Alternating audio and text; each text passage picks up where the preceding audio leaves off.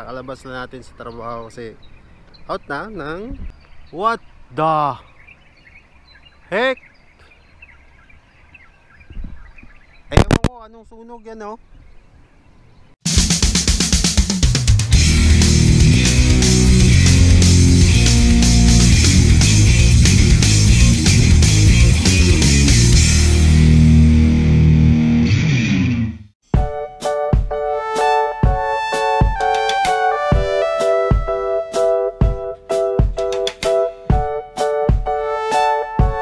So yun nga mga kapitbahay no?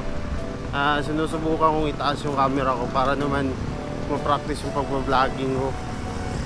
And medyo maraming tumitingin pero kakayatin natin to kasi marami tayong pangarap eh. So para sa inyo guys, gagawin natin to. Actually ngayon, papunta lang ako dun sa tinatrabahuan ko. And yun nga, medyo delikado yung daan kasi daming national highway kasi to eh So marami talagang sasakyan. Pero dito is di na masyadong di kasi ano na to eh yung papasok ng eskwelahan at saka opisina. So wala na masyadong sasakyan. So madilim dito guys. Ah, dito na muna ngayon. Eh papasok ko bawal ang camera dun sa loob nakatakas tayo sa guardia ah may pasok yung camera na walang uy nandiyan yung guardia sa likod. Pero yun nga ah, dito ako nagtatrabaho ano. Dito yung building. Yan. Yung building na pinagtatrabahuan ko. So mamaya maya hakyat tayo doon. So sa ngayon dito na muna tayo sa labas. Papalamig-lamig ng ulo muna. Ay. so ayun. At 7.32 na po ng gabi. And pa, papa-duty ako mamaya maya mga 8 so ganito lang yung ginagawa ko pag dumadating ako sa opisina. Ah, nagpapalamig muna ng ulo. Kasi buong gabi na namang mainit ang ulo ko. Pero ah, kinukonsider kong experience yung lahat. Kasi lahat naman ng bagay sa mundo is may dahilan. So yung mga ganun na mga bagay-bagay na nagpapahirap din sa akin minsan sa trabaho is I always take it positive. So yun lang kailangan mo lang isipin na lahat ng ito ay pagsubok lamang na kailangan nating lagpasan. So, sa araw-araw na ginawa ng Diyos is nakakaya ko naman.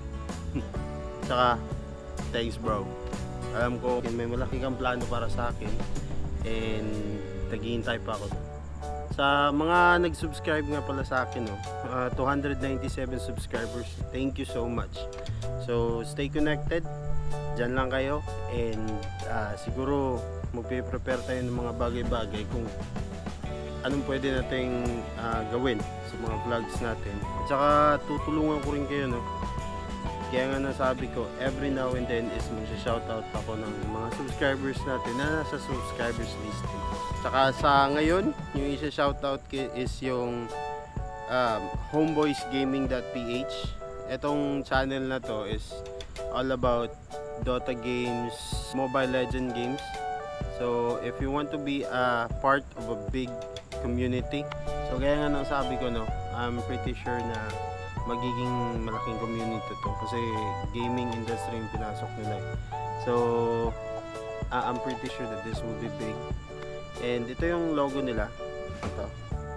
Ito yung logo ng homeboysgaming.ph. So, please check their channel and subscribe for more information. Peace! Alright, kapitbahay, good morning. So, kakalabas na natin sa trabaho kasi out na ng 20 in the morning. So, usually pag ganitong oras, eh, naglalakad-lakad lang ako papunta dun sa terminal na NANI? What the heck? Ewan ko anong sunog yan oh. Ewan ko anong sunog yan pero try nating alamin. What the? Diyan nabigla ako. Talagang ang, ang laki ng what the fuck? Ah, sorry. What the heck? Sunog.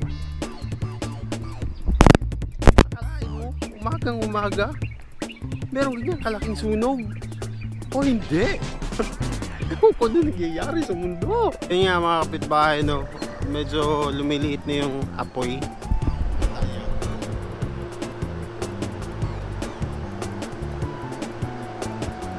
Medyo lumiliit na yung apoy. So wala na tayong madadatnan doon. Huwag na tayong pumunta doon kasi baka madiskrasa pa tayo. Eh wala eh. Ganun talaga eh. hindi natin alam kung anong nangyayari sa uh, sa atin. Araw-araw. So doble ingat lang mga kapitbahay. Ikaw na nakikinig lagi mag-ingat ka palagi. Sira ulo yung tinanong ko na driver.